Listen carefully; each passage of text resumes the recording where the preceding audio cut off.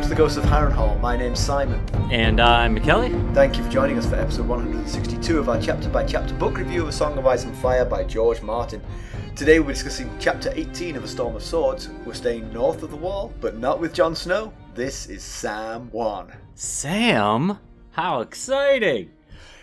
And as always, we're going to chat about the chapter and try not to spoil any future plot points for you. And hopefully, we're going to provide you some entertainment along the way. We'll summarise what happened, discuss our thoughts on it, provide some useful background, compare it to the television show, indulge in a little pedantry, and cover some relevant news and listener correspondence. And we got some very nice listener correspondence today. I'm very excited about that one. We Um, did. Be sure to check out the show notes. Additional information about the characters and geography of this chapter, uh, particularly helpful if you're not following along. How are you, Mackelly? I am doing very well, in fact. I see our witty banter is blank, but that's okay. We can we can fill the time. Um, I am doing quite well. I just came from dinner. I was, was a few minutes late getting down here to record because I just come from dinner with my core nuclear family, and it is um, it's just rare these days because you know Ethan lives two and a half, three hours away, and Molly's always busy with some either school or some sort of acting production type deal and so it's just it's just you know when you as your kids get older and your family gets busier it's just so nice to go out to eat together just the four of you Well, I'm sorry for rushing you. I feel bad about that now. no no i was back i even had time to shower before we recorded so i am good how about you how are you doing I'm, I'm fine. I'm fine. You you are you are relentlessly sentimental, Mackelly. I have to i say. know it's it's a problem it's really a problem I mean, me, we we were clearing our house of stuff the other day, and neither Carson nor I have just a grain of sentiment in us. It's just like oh man. picture that Lucas drew when he was three, like trash. It's poorly done. yeah.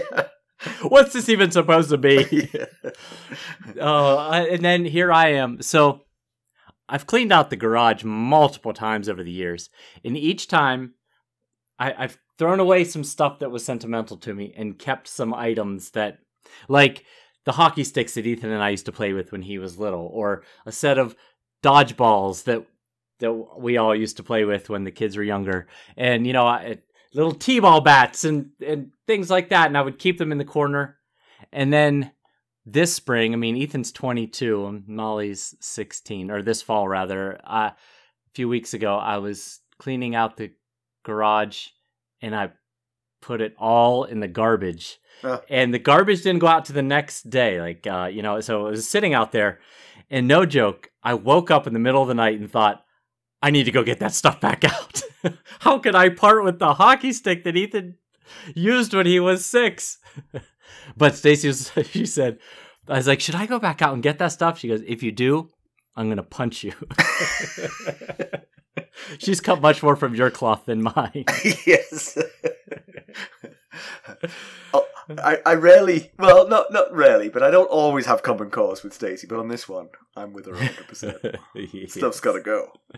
Oh, it went. It went. That was a few weeks ago. It's sitting in the dump somewhere.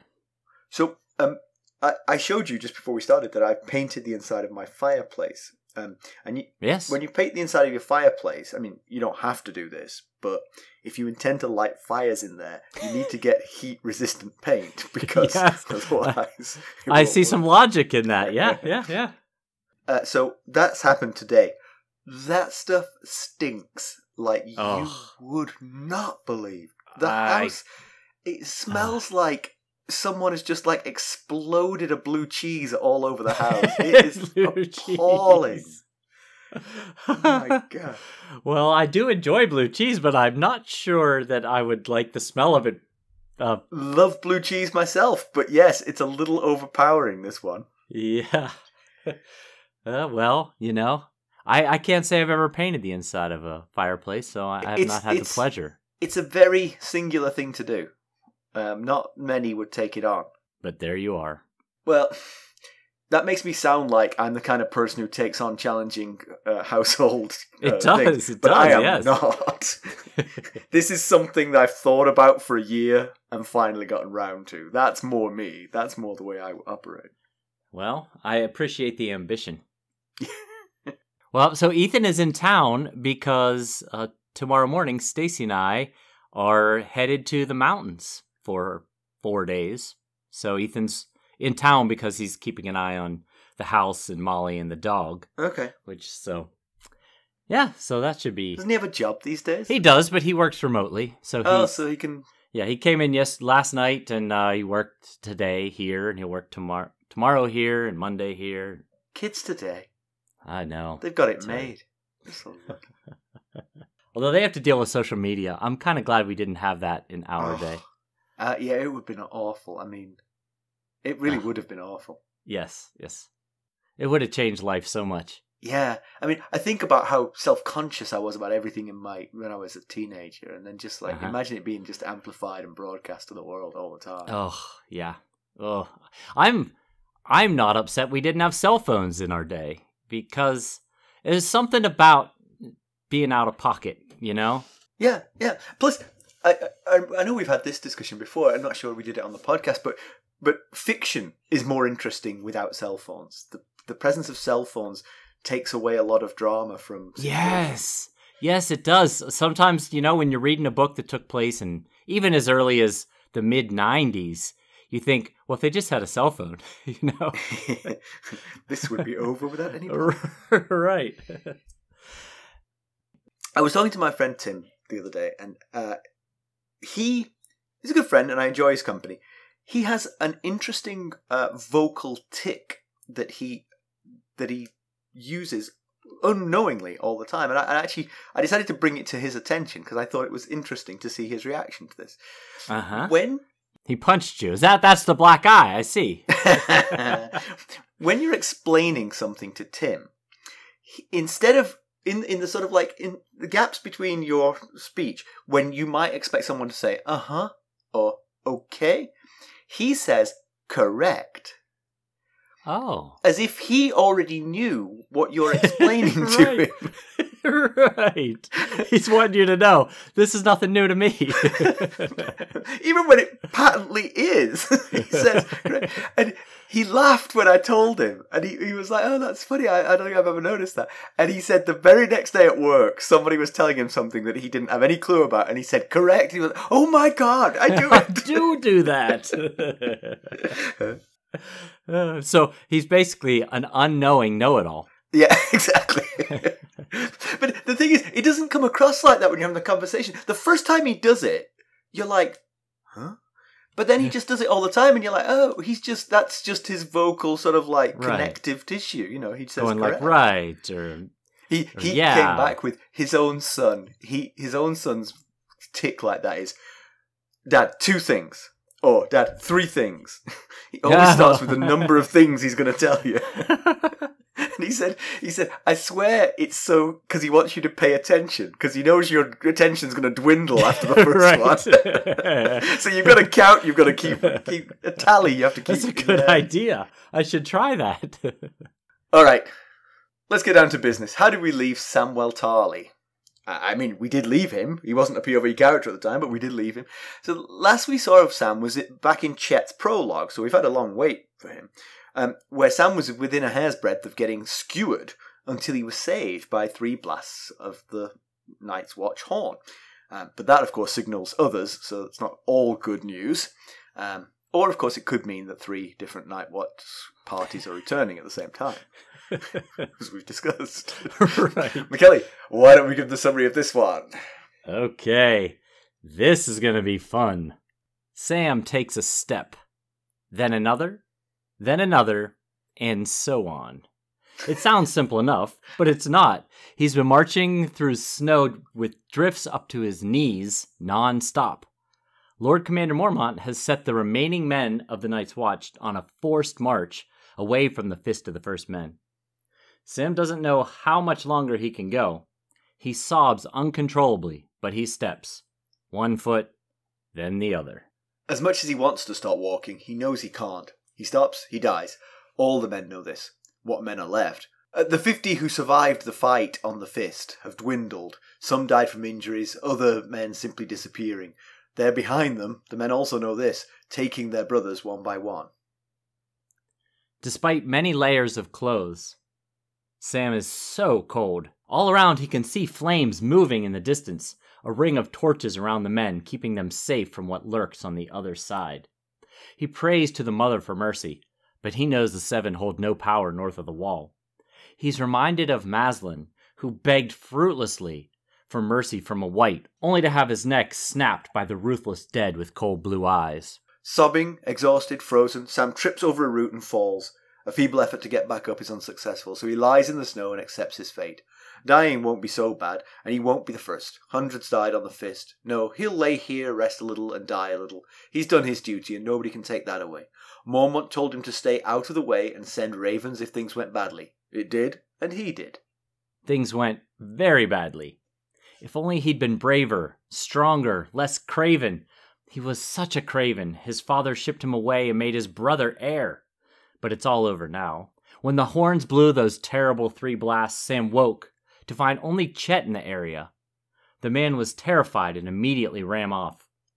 Sam got the birds off to Castle Black and to the Shadow Tower, then packed his belongings, including the dragon glass arrows and spearheads Jon had found. Sam watches as men loosed arrows into the oncoming enemy. The direct hits did little to stop their advance. Lord Commander Mormont commanded the men to use fire arrows, and Sam to write up an account of the events to send with additional birds. Sam's narrative drafts went from the positive to the utterly hopeless as the undead army breached the ring wall, arrows in their faces and through their throats. Sam's last line, the battle's lost. We're all lost. Unfortunately, when the call to horse went up, Sam let the remaining birds free, only he forgot to attach any of the letters to them. Whoops. Sam's bladder had let go at the sight of a white run through with a spear, twist a brother's head around. Sam ran to the central fire where he mounted the nearest horse and joined the spearhead led by Commander Mormont. Sam watched as a hairless dead bear ripped the head off Thoren Smallwood before kicking his mount into action. The brothers flew down the south slope while whites pulled men and horses down with clutching black hands. Sam allowed himself a moment's relief when they reached the forest, but at that moment a man in black leapt from the tree onto Sam's horse, knocking Sam off. Dolorous Ed found him and pulled Sam onto Ed's horse. Mormont redistributed the supplies and injured men across the horses, forcing most men to travel on foot. But not Sam. Not now. Maybe if he rests for a bit. Grenn suddenly looms over him, shouting for Sam to get up. He tries to drag Sam to his feet, but Sam won't help and he's too heavy for Grenn to hold him upright. Other brothers pass by, urging Grenn to leave him. Only small Paul stops to help. The huge man hands Grenn his torch and scoops Sam up like a baby. Paul carries Sam for a while. All he asks in return is that Sam give him a talking raven like Mormont's. By the way, at the wedding there were two guys called Paul, and one was known as Tall Paul. Even though he was Huh? French. I mean, that's kind of an English term to say Tall Paul, but he was known as Tall Paul. Weirdly, the shorter of the two. But eventually, even Paul tires and sets Sam in the snow. Grenn realizes they're all alone. The last of the rear guard pass them by. Their only light comes from the torch Grenn holds. Thankfully, a horse's head emerges from the darkness, but the relief is only momentary. Hoarfrost covers the animal and its entrails drag behind it. Probably not a healthy horse at this point. no. Uh, its pale rider slides silently from the saddle. It's no white. In a blink, the sword of the slim, graceful other slashes Grenn's torch in two, the fire extinguishing in the snow. Paul charges it with his axe. The crystal sword slips easily through Paul's body and out the other side. Paul's falling body pulls the sword from the other's hand. In that moment, Sam stumbles forward and drives the dragon glass dagger into the other. There's a crack like ice breaking, then the monster starts to melt until nothing remains. you might think we scripted this, that we planned this episode to happen the week of Halloween, but really it was just blind luck that this episode happened to come up this week. If if you heard all the edits that went into getting that uh, recap together, you would not think that we scripted this. but you would think it was a horror show. You'd think we were just making it up as we went along. yeah, I wrote this really late at night. Yeah, yeah, because this is the real. This is the first real monsters in this show. I mean, in this show, are we, are we reading a show or are we reading a book, Mackelly? Which one is it? Uh, most times a book. Most It's a book. time, Okay, a book. yes. Do do like um, charades? Yeah, like a book. Yeah, remind. Yes.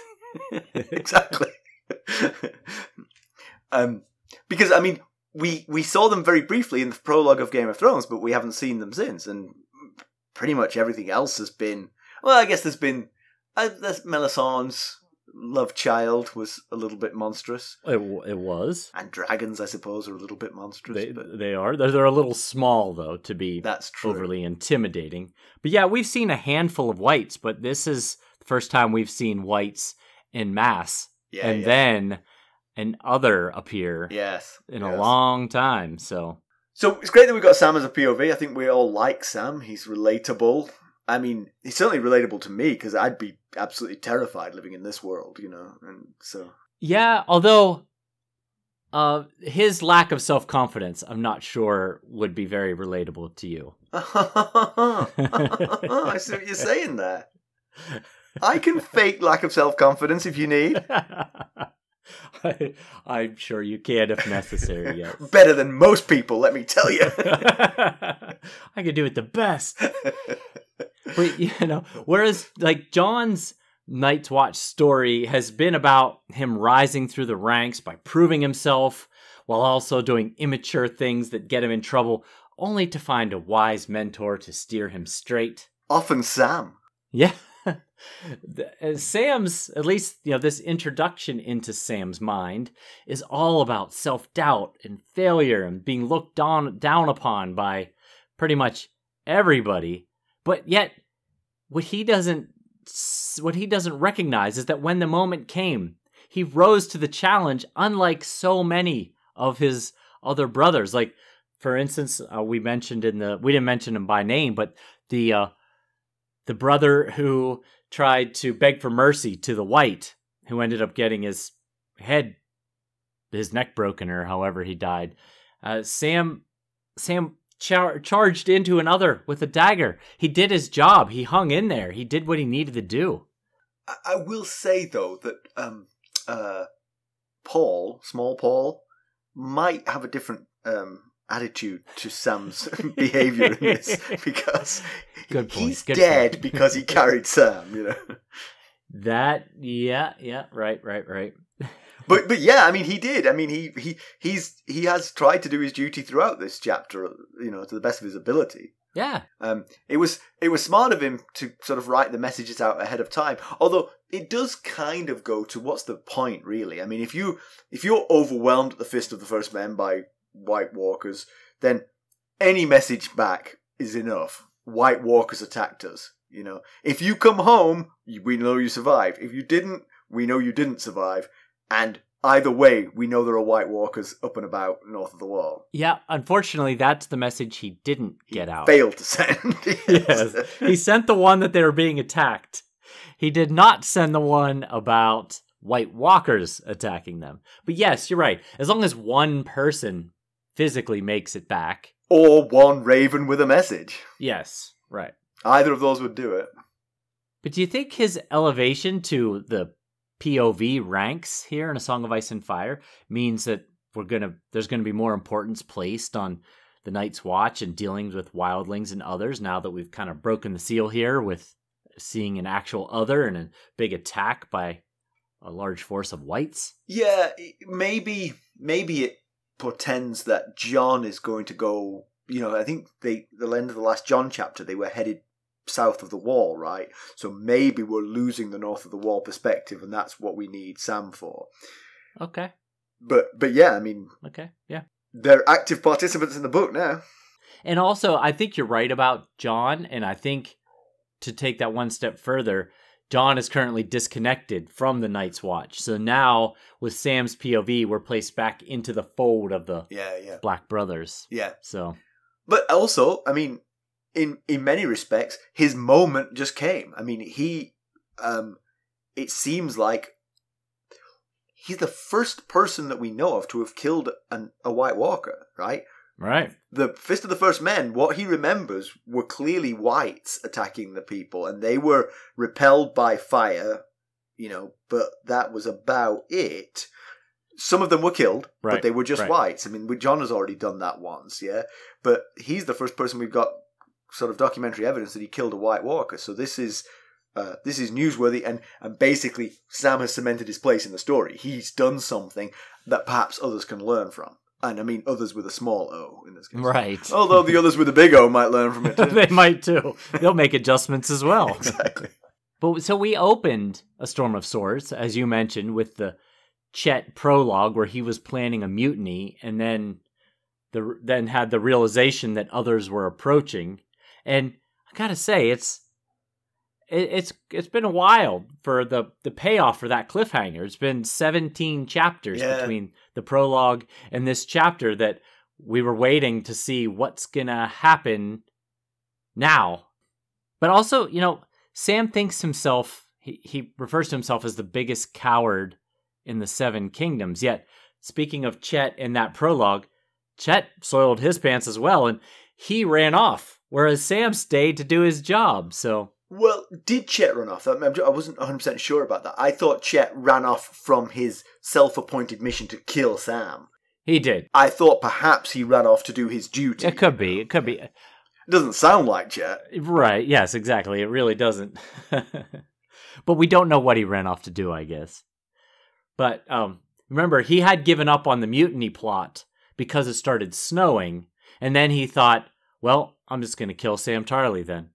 But then uh, on his way to do it, when he was thinking in his head, imagining how Sam was going to soil his small clothes, Ah, yeah. and then Chett heard the three blasts and soiled his own small clothes. Right. So, That does all come back to me now.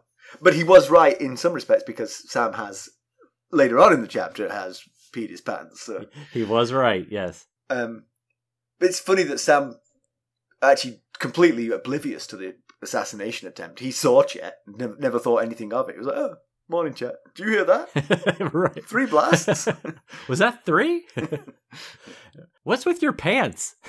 so, so to be fair to the White Walkers, you know, I mean, they may be misunderstood. Um, they actually saved Sam's life, and how did he repay them? He used a dragon glass dagger to kill one of them. I tell you, it's the un- the injustice of it all. the others driving what remains of the Great Ranging, kind of relentlessly onward, is surely the primary issue in this chapter. But the the secondary issue in this chapter is all about Sam's feelings about himself. Well, yeah, I mean, obviously the whole thing is a, just one long near-death experience. You know, I mean, if you're marching through knee-deep snow and you're carrying a ton of stuff and you're 200 pounds overweight, then you're not thinking that this is going to end well. and so a little self-reflection is sort of like inevitable in this time, I would think. And Sam's Yeah. self-reflection leads to there's not a lot of happy in Sam's former life, you know, and, and, and his current life, you know. He's shipped off to the wall to to prevent him from inheriting Horn Hill. So, and then that goes to, well, why did my family hate me so much? And I'm a coward, and all the things that this churns up. So yeah, I mean, it's there's not much new there, but it is, No. you know, a reminder of just how miserable Sam's life has been to this point. Yeah, to this point, all we had gotten was the things he told other people. Right. Now, now we're seeing just how present this self-loathing is in Sam's mind. Yeah. How constant it's there, and he's clearly bought into the things that his father, people, people like his father and Alliser Thorne have said about him, to the point where he's just accepted it and resigned himself to the fact that these him being a coward is and him being all the negative things that he thinks that he's been that he has been told he believes are true. Yeah, and, and most of that doesn't necessarily have to be debilitating, but the problem it leads to for Sam is that he can't imagine that anybody else in this company is as scared as he is. Right. But of course they are. They're all exactly as scared as he is. you Yeah, know? check Chett's pants. Right, yes. and Maslyn again. I mean, he saw Maslyn just throw down his take off his gloves, throw down his stuff and just beg for mercy. I mean, obviously he was not exactly the picture of heroic bravery there. No, but I'm I'm going to give anyone who faces the, an army of the undead on the Fist of the First Men a pass for how Oh, yep, lacking in I agree. bravery they acted. I agree. I think Sam just thinks he's the only one Exactly. that feels these fears, whereas they all do. Even all the way up to Commander Mormont, they're Yeah. feeling these kind of fears and self doubt. and in many respects, how the chapter ends is exactly exactly what most soldiers do. They they have the terror when they're in battle that any other soldier has, but when the moment comes, they act because that's what they've got to do, and and it Right. comes across as bravery for for most people. It doesn't come across as bravery for Sam because we know him too well Right. we know it was just sort of like a instinctive reaction. But when someone sort of acts brave, it's the same instinctive reaction. You know, they're trying Yep. to save their friends and their own skin. You know. Yep. Well said. Um. Yeah. So Sam's job, it's it's it's of debatable importance that he gets an accurate retelling of what's going on on the Fist of the First Men. I mean, but it is undeniably important that the Night's Watch are aware of this army of the undead coming their way, and he did fail to do that, unfortunately, in, in his panic. I honestly think it's because he kept drafting the message. There was very little reason to keep updating the message. True. We are attacked by White Walkers. That's enough. Stop. End Strap of it message. to a raven. Send Right. it on its way. yeah, that's that. That's true. Yeah, I mean, it it's like you with the recap. I mean, just like rewrite after rewrite. You know, man, we've got it. It's good. Let's just go with it. Yeah, I mean, the battle was going to be lost regardless. The Whites had overpowered their defenses, and the Night's Watch, the brothers, were unprepared for this White attack. So, aside from Melisandre's shadow assassin raining fireballs down on the undead, no amount of heroics was going to to have that much of an impact. So, Actually, you know, the fact perhaps perhaps foreshadowing a dragon. A dragon might come in handy. A dragon would have been very handy. Yeah. Yes, I agree. I agree. But you know, so the the goal of getting the news out, the goal of getting this message back to the Shadow Tower in Castle Black is to prevent a repeat of this disaster. So that Bowen Marsh, who's the Castellan of Castle Black right now, and Denys Mallister, who's the, who commands the Shadow Tower, so that they know what happened, so that the whole thing, so it can be, they can be prepared for such an attack. You know what they should do is is write a tersely worded missive to King's Landing demanding more men because there are uh, White Walkers north of the wall. I'm sure that will be well received. Yes, fantastic plan. It's basically failsafe, I believe. yes. but you know, the the whole this whole ranging might have been avoided if um if Benjen Stark had had a couple of ravens on his ranging. So because they came out here to figure out what happened to Waymar Royce and Benjen Stark and find out what, what's going on. Maybe he just hasn't found out yet. yeah, I guess he's got the raven. I imagine r- rangers I'm not going home until I do. rangers can't really traipse around with uh, ravens. They'd probably make a little too much racket, Maybe. and the, the cages would be a little bit uh, burdensome to True. carry around. True. But had he had at least one to send back, this is what's happening, then they would know, and they wouldn't have to send 300 of their best people north of the wall to mostly be slaughtered. Yeah, so the men start the battle on the fist with um, conventional swords and arrows against the whites, which seems a bit of a waste of time, un- unless you unless you don't believe the three horn blasts, unless you think it might be wildlings. It seems like a complete waste of time to even try that. You know, you um, what was the name of the guy they had to to fight in Mormont's chambers? Other. Othor, yes. Yeah. Um, Othor, they they they kept poking him with swords, and none of it had any effect, right? Until The drapes. they set the- him on fire. Yeah, right. Yeah, and that's when Jon burned his hand, and so Yeah. that's that's how Mormont at least knows to use fire. That's why he shouts fire arrows. So hit them with fire. But I was as I was reading the chapter, I kept thinking because of Othor and Jafer Flowers, that was the other white. Uh, they know whites exist, so maybe they should have been prepared for a white attack. Maybe I don't know, uh, ring the outer ring wall with wood to light in case something like this happened. Yeah, they seemed woefully unprepared for it. Yep, I'm, I'm, I'm with you actually, Michaela. I, I, I always like to give a counterpoint, but actually, you're, you're quite right. They, they, they should have, even if they were expecting an army of wildlings. They, in the back of Mormont's mind, there should have been the thought that the the attack might come from others. It seemed like they were just had no idea that this possibility might happen, but they've seen the white, so they know it's possible, and they're north of the wall, which is where they know the whites come from. Uh, so around 50 survived the fight at the Fist, uh, but those numbers have continued to drop. Um, death from injuries, from wandering off, from shouts and screams from behind, which doesn't sound like right. the best way to go. No. So that means that 250 were lost in the battle. So that's pretty uh, that's pretty bad news. And many survi- many of the survivors don't have horses, so the number of dead horses that um, uh, the wildlings found was indicative of the uh, the state of this battle. Yeah, although they were basing the deaths off of how many corpses they saw, but um, we just saw another riding a Night's Watch horse, so who knows how many others picked up new horses along the way, you know. uh, point of order: Do we know it was a Night's Watch horse?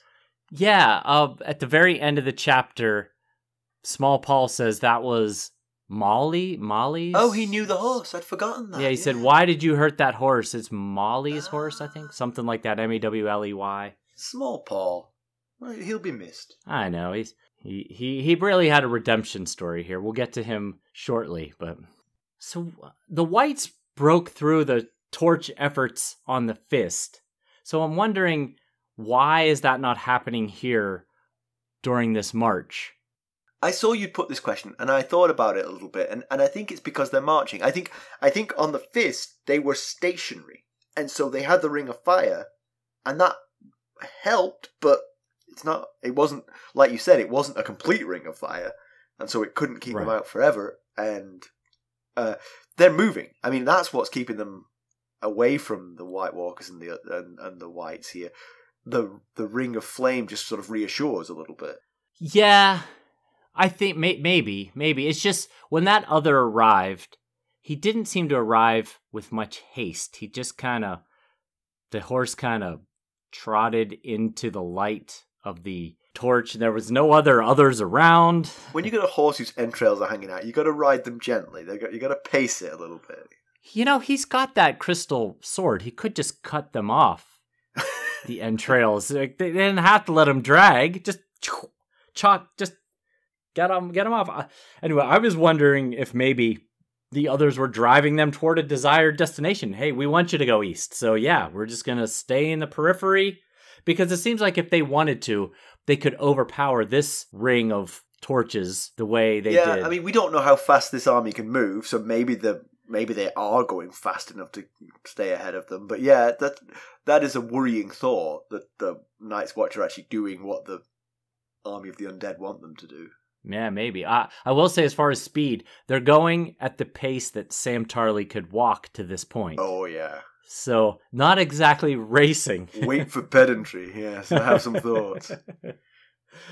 So Mormont, uh, when the when they sort of take a moment to sort of uh, gather their thoughts, Mormont uh, takes most of the men off the horses and redistributes the supplies across the horses, puts the wounded men on the horses, and the healthy people have to walk again.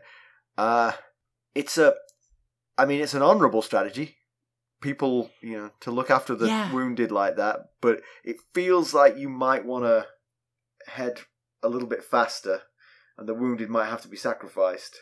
Yeah, that's the that's part of the issue, though, right? Like, on one hand, yes, it is honorable to try and save these injured brothers and and not just sacrifice them, but then on the other hand, you know that many of them won't be able to keep up like Sam. Yeah. And any that are left behind are just going to join the ranks of the yeah. enemy. And so I was thinking, yes, I really I do appreciate this plan. Me especially as someone who would try and save every last person out there. But you would think there would be some sort of rideshare situation going on, like enough horses so that men could ride for a few hours, then walk for a few hours, rotate the horses, the men around the riding horses. Well, let me let me be the cold-blooded one momentarily. If we just leave the wounded sort of like together, with some torches and some arrows and like pick off as many as you can before you succumb. They'll just replace the ones that they take out. Then I've got a horse for every able bodied man, and I don't need half as many supplies to get us home because we're going to go 10 times as fast. Yep. I see what you're saying. I see what you're saying. But you know, another thing I noticed was there was very little, almost no effort in preventing Sam, Grenn, and Paul from falling outside of that ring of fire. You know, like there was no comment from the rear guard like, "Hey, I'm the last. You have to stay in front of me. Go, get moving." Maybe Sam would have walked at that point. there was a few leave No, I, I think Sam had made his decision at that point, but but yeah, I mean, you've got to imagine that it's like they're, they're, it's a wasted breath. You know, they know if you fall behind the last torchbearer, then you're outside the ring and you're going to get it. And I, at this point, they must all be utterly exhausted. I guess, but you know, I, I get it. Maybe, maybe there's not a whole lot of fear from a white Sam, but I'm not sure that I'd want to any part of a white Grenn or a white Paul. That's a good point. Yes, you know, they're they they they're not people I want to face on the the other side of the uh, fence there. Yeah. So I mean, Grenn's a big, strong lad, but he can't help Sam up. It's just too much for him. And uh, but fortunately, Small Paul, who's a you know giant of a man, is able to get him up and actually carry him, which is really super heroic to to carry Sam and Sam's pack over any kind of distance through snow with drifts up to their knees. Right, and imagine how much more deep you'd go if you were carrying Sam. You know. Thankfully, the ground's probably pretty frozen. At, at so some point, you'll find ground. I'm sure. Yeah. so yeah, Paul. Paul's redemption story. He was part of Chett and Lark's plan for the mutiny, but he was always he was always a bit of a gentle giant who was just you know going along with it. Uh, his role though was actually to kill Lord Commander Mormont, which uh, right. not a good look. Uh, no, but he you know he's he's simple minded and he didn't really understand the repercussions of what he was saying. So mostly he was doing it because he wanted a talking raven he thought they were cool. That is mostly what he was doing it for yeah. And yes it, it is quite the redemption story because he tries to save sam in two ways. He tries to carry sam sacrificing his own ability to move forward and he also charges the other with his axe basically sacrificing his life. Now, maybe he thought he would be able to take the other, but still, he charged at that other with his axe, defending Sam and Grenn. Yeah.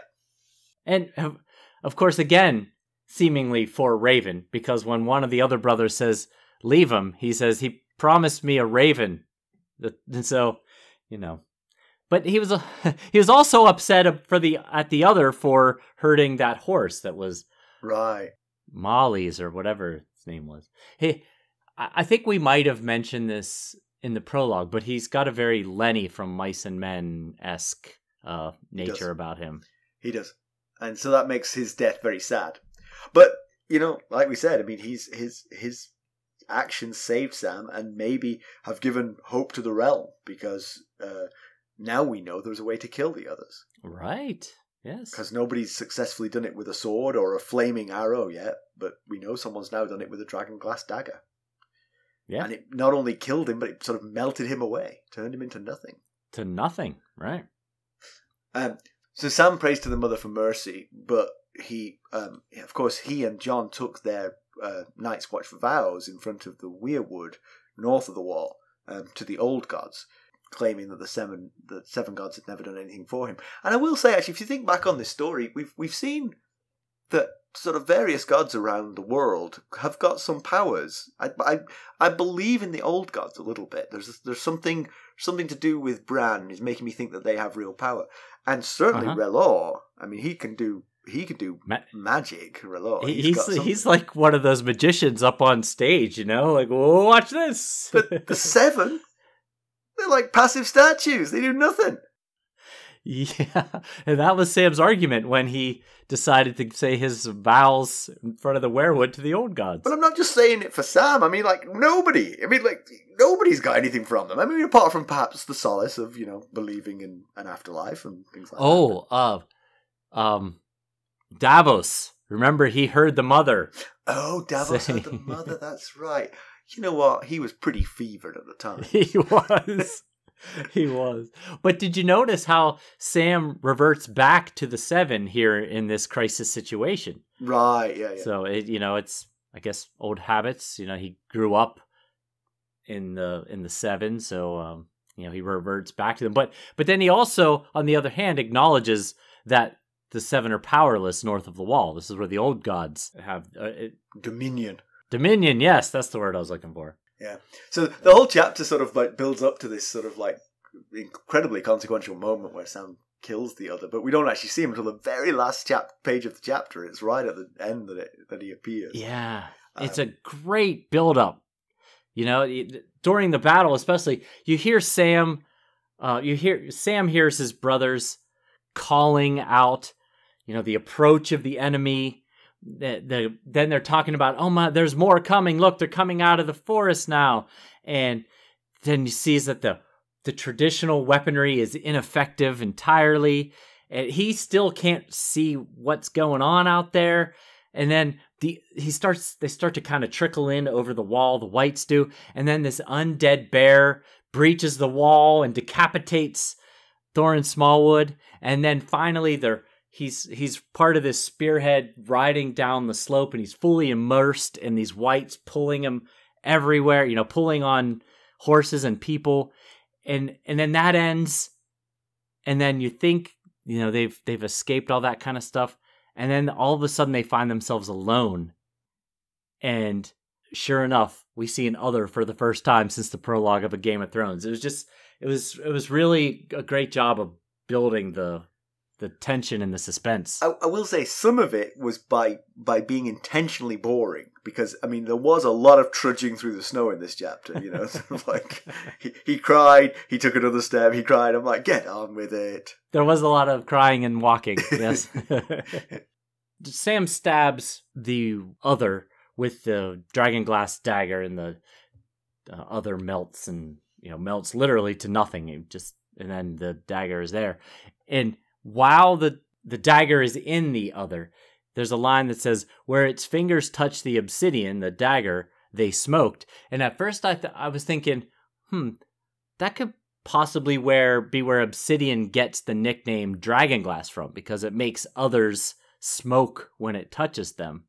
But i i googled obsidian to see wha- what obsidian was made of and really obsidian is a volcanic glass formed when volcanic lava cools rapidly with minimal crystal growth that was from wikipedia so fact that it comes from lava probably has more to do with dragon glass than smoking others but I feel like we might have said all that before, but you know, what do I know? did did we did we talk about obsidian I got a horrible memory. So don't trust me. Well, I will say though, it's a good thing Sam didn't discard his heavy pack, even if it was primarily due to the garlic sausage that he had stored in it. Remember, he packed the dragon glass in his pack, and he and the horn and his extra small clothes. I counted ten layers of clothes on Sam when he was describing everything he was wearing. So, you know, keeping that pack around really helped out, but ultimately it helped out most because he had the dragon glass Yes. dagger there. So do you have some background for us, Mackelly? I do. There wasn't a great deal to go off of here, so I thought I'd focus on Sir Ottyn Wythers. We lost him here on the fist, not to a white like so many others, but instead to a horse kick in the face. Maybe it's best for the tough old guy, as at roughly 70 years old, he might have had trouble on that forced march as Sam did. Uh, he had been tasked with commanding the rear guard of this ranging and was not in favor of the idea of attacking the wildling host when Thoren Smallwood brought back the news of the host's position and makeup. He preferred that they retreat from the significantly larger force to, well, the safety of the wall. He said, We're the shields that guard the realms of men. Our shield, 700 foot shield, is that way. We should probably go there. Anyway, uh, and Sir Ottyn was second in command on the ranging, and actually Chett's mutiny plan involved killing Lord Commander Mormont, which would have left Sir Ottyn in charge, and Chet and his co conspirators felt Sir Ottyn wouldn't bother to pursue the men because he was just wanting to get out of town, just get back south of the wall.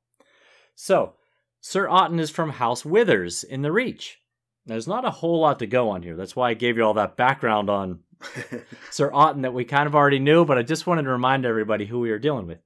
It is believed that their sigil is a gray squirrel on white with a red border, and their words are not known. The, the only other known member of House Wythers is Sir Willem Wythers, who is the captain of Margaery Tyrell's guard. Do we have any idea of the relationship between Ottyn and Willem? We do not. Okay. Well, thank you anyway. I appreciate it. I don't even know where their seat is, or what it's called, or anything. So, comparison with the television show. Uh, so, there's quite a lot happens in the chapter. If you think about the whole flashback, this covers quite a bit of time. So, I had to piece together Sure. quite a few scenes from the TV show. In the show, Sam gets lost near the Fist of the First Men when the horns blast. So he's not on the fist. The horns blast. Uh, Grenn and Ed run run off to help, and Sam gets lost. And, and basically, as the others arrive, kind of the weather comes in, and he can't he can't see anything. Perhaps sensing how useless he is, they ignore him. Even though they see him, they just walk past him and leave him be. That's not helping his self esteem any. and and that was how season two ended. And then season three opened with Sam heading back to the Fist of the First Men, seeing dead brothers of the Night's Watch, you know, decapitated and things, and then getting attacked by a stray white who obviously had got lost from the army. Uh, and then he's saved by Ghost, oh. which is genuinely confusing because Jon isn't there. So in the TV show, I think there was basically this sort of sundering of Jon. When Jon was with Mance's army, Ghost wasn't with him in the TV show. okay. Um, Wow. and also Lord Commander Mormont. In fact, Ghost just drags the white away, and Lord Commander Mormont sets it on fire. Lord Commander Mormont has the fifty survivors with him, and they, he asks him if he sent the ravens. And Sam in the TV show didn't even send the ravens. Never mind the messages. So he's like, mm, no. And Mormont's mad that he's failed in his one mission. you had one Uh, job. So the battered remnants of the Great Ranging start their long march home. Now, Sam does kill a White. I mean, you couldn't miss this bit out of the TV show. Sam does kill a White Walker, but that's in a much later scene with quite a lot of spoilery in it, so I can't reveal that. But he does do it. In fact, it's the one who eyes him when he walks past him on the way to the battle, oh. or at least he looks the same. I mean, maybe they all look exactly the same, but it, Sam said, That'll teach you to overlook me. Exactly. should have killed me when you had the chance. just because I'm an overweight coward. All right, pedantry corner. Well, I'll, I'll just bring up, which I think I think everyone who reads this chapter would think. I don't know how long you think you would have lasted on this forced march, Mackelly. Like, if I had like top notch winter gear, lightweight but really warm, and I was carrying nothing, I think I could have gone about an hour, and I would have collapsed like, I'm done. I'm like, joining the army of the undead is better than taking another step. Happily, happy to do it.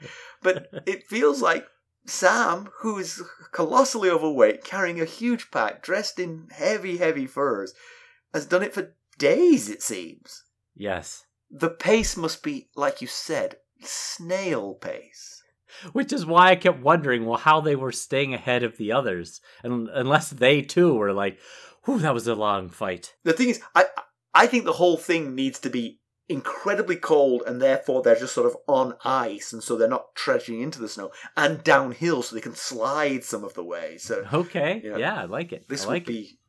So that's that's my pedantry. I, it's not big pedantry, but it is. It just feels like you could not keep this pace up, and eventually he doesn't. But m- maybe that's the thing. Maybe this was all real time. Maybe every time he said it took a step, that was actually one of the steps he took. He only took like twenty steps. exactly. That's why the others hadn't attacked him yet. They were still behind the. They were only about 500 feet away from. we'll get to them in a second. You had one. My bit of pedantry was just so Sam mentions walking to the, as he puts it, the huge fire at the center of camp. And I kept thinking when he would mention this huge fire, it's the same huge fire at the center of camp on the tallest hill in the area that no wildling scout noticed. I just don't. I'm not sure I buy that. Okay, uh, just do do we do we know for a fact this fire was lit prior to the battle? Because it is possible. I'm just I don't know if I'm wrong in saying this, but it is possible that they were like they might. I heard three blasts. Let's light a big fire so we've got a fire. I I guess that's theoretically possible, but they were cooking. They had cook oh, fires Oh, yeah. and I mean- plenty of cook fires going on up there. We've mentioned this a couple of times, and it, it is it is the whole thing is kind of implausible. Let's let's take three hundred men to secretly track a, an army, and let's put them on the highest point and light some fires. It's like that's not the way to do it. Right. That feels like you're distracting from what you're really up to, to be honest. yeah. Just put a fire up there. Really, we're going to go around the other way. News and notes. Well, so news and notes about exactly a year ago, we told you about the Folio Society releasing their beautiful tomb volume version of A Feast for Crows. Well, they're at it again. Now they've released A Dance with Dragons. And Just like its predecessors, A Dance with Dragons is two volumes. Both volumes have five full page color illustrations, two double page illustrations, and color illustrations inside the slipcases. All from the talented artist Jonathan Burton. Uh, you'll also find illustrated chapter openings, house sigils, and volume 2 includes 12 family trees. But again, just like last year, this is not cheap at 230 US dollars. But Ouchie. yeah, with the holiday season fast, fast approaching, you know, Yeah. I mean, you if you want to go a little bit lower, ghosts of ghostsofharrenhal.threadless.com. yes. Now, that's a good idea right there. And so we got a review on podchaser.com by uh, someone called Lucas, like my son. Um, uh-huh. having been bitten by a Song of Ice and Fire fever again after the first episode of House of the Dragon, I totally understand, by the way, and wanting to brush up on my knowledge a bit, I came across Ghosts of Harrenhal in my search for a chapter by chapter book recap podcast.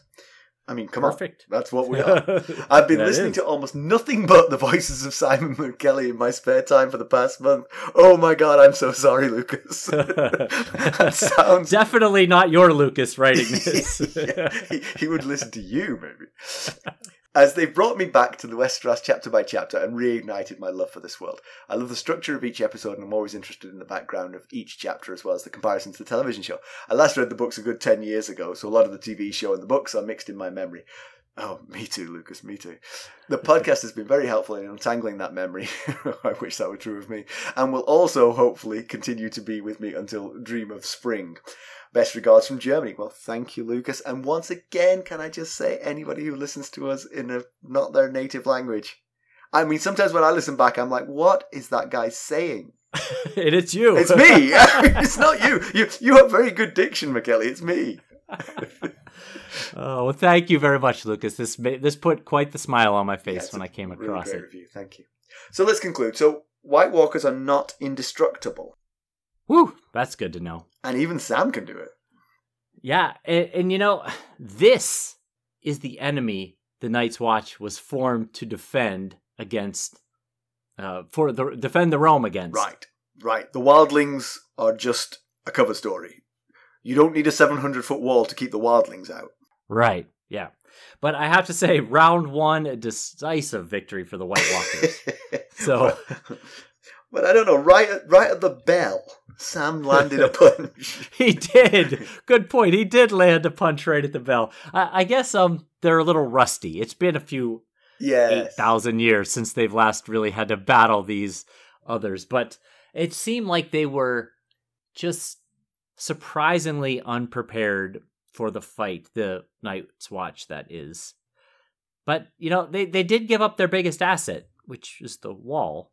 Yep, they You did. know, they they they met them on the the other's territory, but even even with that, they knew that White Walkers were out there. They had two in Castle Black. They should have been a little more prepared, I feel like. Yep. Um, so the Great Ranging is in big trouble. The others fe- seem like they could overtake them at any time, and it's an awful long haul back to Castle Black. So, um, will any of them make it? Fingers crossed. We have a new POV character, but that doesn't. That is not indestructible armor either. Ned Stark. No, Ned Stark. yeah, uh, it- we have to hope uh, a few of them make it back because Sam never got those messages off about the White Walker attack. So you'd have to imagine uh, when when the message reaches Castle Black that we're under attack, they will assume it was wildlings unless they specifically get notified. Oh no, they were whites and others. Yeah. We need to prepare for that kind of attack. Yeah. But, you know, uh, the White Walkers, why were they so focused on these few hundred Night's Watch when there is a wildling host of tens of thousands not too far away? What was it about the Night's Watch? Just that they were a new toy to play with? That really big fire attracted the eye. yeah, you'd think that might scare them away a little bit. I'm not going up there. I I will say, actually, bringing that up, actually, it does make me think: is there a is there a plan here? Because if there's a threat to the Seven Kingdoms, it is the, the others getting south of the wall. Well, Uh-huh. destroying the Night's Watch would help. So Yes. perhaps this is not just random. And perhaps it's not just let's pick off the easy prey. This is let's go after those guys because it's going to make our long term job much easier. Yeah, yeah, exactly. You know, whites might be mindless, zombie like creatures, but others seem to be intelligent, sentient beings. So they might you're right, they might have a plan. That no, those those three hundred up there are gonna be much more useful to knock off Right. than that wildling host. We'll take care of them some other time. Yeah, that's possible. Next week we're off to uh King's Landing for a Tyrion chapter where his dad gives him some very noteworthy news. Okay. Well, there's three ways that you can help us. You could leave us a review like Lucas did. Um, you could buy some merchandise at ghostsofharrenhal.threadless.com. You could buy us a cup of Arbor Gold at buymeacoffee.com slash ghostsharrenhall. Uh, even become a sustainer at the Lord Paramount or Knight of the Realm level. Uh, you'll get your episodes a day early and ad-free and other good benefits beside. That's right.